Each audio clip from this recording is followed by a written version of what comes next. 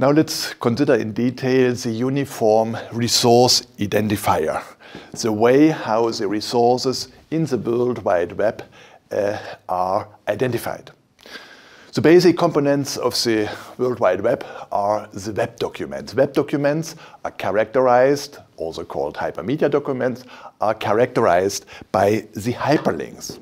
Hyperlinks provide the possibility to point directly to another document.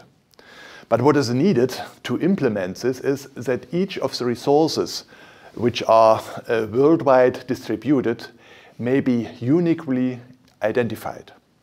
And what's needed, and the URIs uh, provides this, is a unique identification scheme uh, which make it possible to identify each resource in the World Wide Web.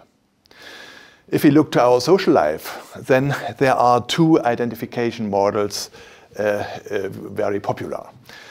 The first identification is done by names. Each person has a name, and if we talk to each other, then we use a name of the other. We can directly uh, identify our partner uh, by his name. So this is uh, very common. It's used all over the world. A little problem is there are many persons with the same name. So the name uh, often does not provide a unique identification. Besides of identifying persons by names, we have the possibility to identify a person by their address. Addresses are uniquely uh, defined. Addresses are given by, uh, in a hierarchical way by uh, defining the country, the city, the street, the number, housing unit of the uh, flat of a person. And when we give his or her address, we can exactly point a resource uh, to this person. In the World Wide Web, the identification scheme of the URIs, the Uniform Resource Identifier, are used. And exactly like in the social life, there are two types of such uniform resource identifiers. There is a possibility to identify the resources, the web resources, by their name. The scheme is the uniform resource name, the URN. Beside of that, there is a possibility to identify resources by their address, and this is done by the uniform resource locator. This is uh, based on defining the address of a resource, defining the server where the, uh, the, the, resource is stored, and then exactly uh, describing the path uh, and the location of the resource at the server. In the practical application in the World Wide Web, the URLs are used. Only a few exceptions uh, where uh, people work with URN. So for practical application, up to now, the URL, the uniform resource locators, are established. The advantage is they provide a unique identification. Unique identification by exactly describing the place where the resources uh, is stored. The disadvantage is if uh, the address changes, if the resource is placed on another uh, server, or if the uh, website is restructured, then this, the change of the address cannot be carried out automatically. The implementation of the URNs uh, of the uniform resource name has failed until now due to a lack of a universal name service. When we want to uh, access a resource in the World Wide Web, we have to use our browser and the user can access resource in the web via the browser by typing the URI, in most cases typing the URL of the resources, or it's also possible to follow a hyperlink hyperlink by activating a special designed element in the text, underlined word or an image or a video uh, in the uh, web document which is displayed by the browser.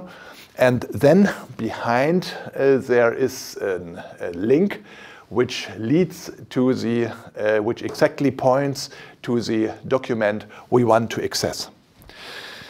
As an, another way to, uh, to access a resource in the web, we can work with, for example, the history directory uh, of our browser or with the bookmark directory. These directories help to make the uh, uh, movement in the World Wide Web more simple.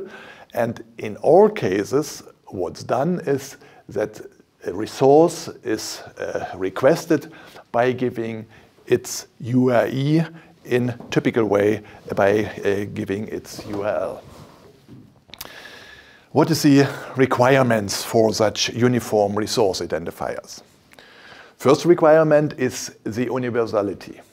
So we are such a scheme, such an identification scheme uh, in the web, it should be possible to address every available resources in the internet, regardless uh, uh, what, uh, regardless of the particular information service which is used for that resource. The uh, another requirement for the uniform resource identifier is the uniqueness.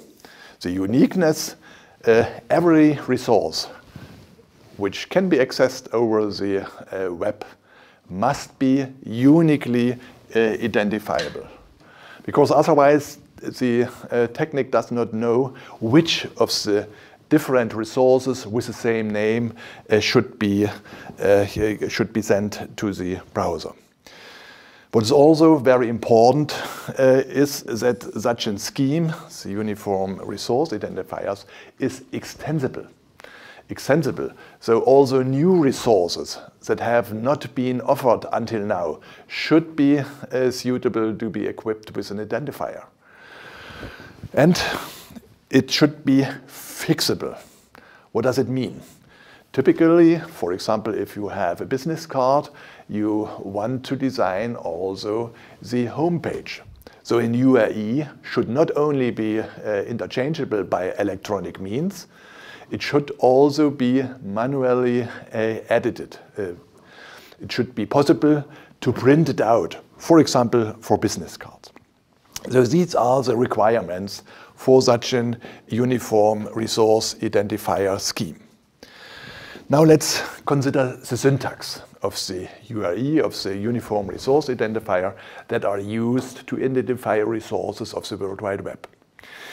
URIs are standardized by the Internet Engineering Task Force and by the uh, uh, Web Consortium and uh, it is described in the RFC 1630. And the syntax of such an URI looks as follows. There is a prefix, then colon, and then a suffix. In the prefix, the protocol is specified. The protocol or the information service is specified uh, over which this uh, resource can be accessed. And in the suffix, there is the place or uh, the identification specified the resource can be found.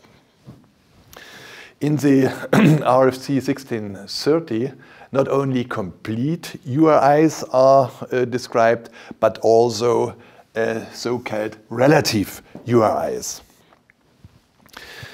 According to this RFC, URIs is either an URL, which specifies the location of resources, or it is specified by an URN, uh, which gives uh, a name of a resource.